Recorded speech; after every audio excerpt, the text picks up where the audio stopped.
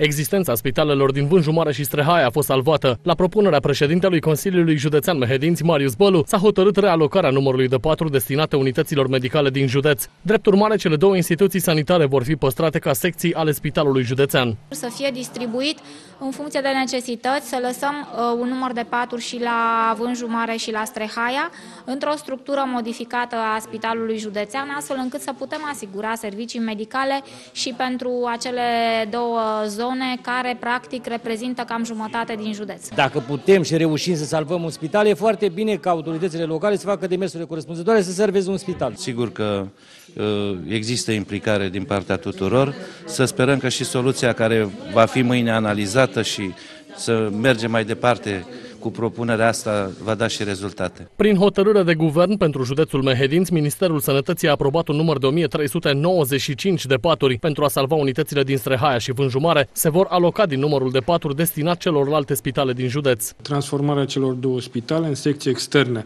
ale Spitalului Județean. Um, dorința mea, prioritatea numărul 0 este de a păstra serviciile medicale în zonă, și uh, personalul sanitar să nu-și piardă locurile de muncă, cei care nu se vor mai regăsi în secțiile care vor rămâne uh, în cele două orașe, uh, acei medici, acele asistente vor fi preluate de către Spitalul Județean. Propunerea discutată și agreată de factorii responsabili va fi înaintată Ministrului Sănătății Atila Ceche.